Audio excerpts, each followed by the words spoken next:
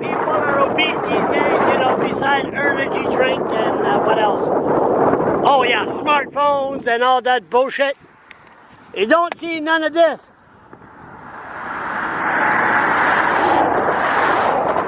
Wow. I haven't seen that in 40 years. We had a pond. In pond, I call it bridge. Wow. That's the reason people are obese. No exercise. Too many face, too much Facebook.